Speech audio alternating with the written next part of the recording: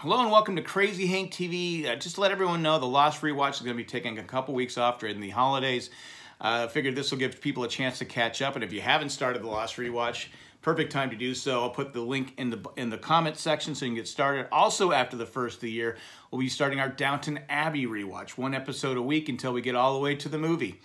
Uh, that should be a lot of fun. Um, in the meantime, I thought we'd do some trivia. I'd post some trivia on there once a day. There'll be like 15 questions, be images you have to answer.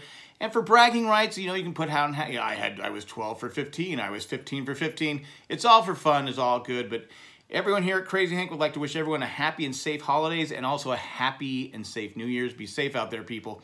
Uh, that's all I got. Thanks for watching. Tell a friend, thumbs up, and subscribe. I'm out. Bye, everyone.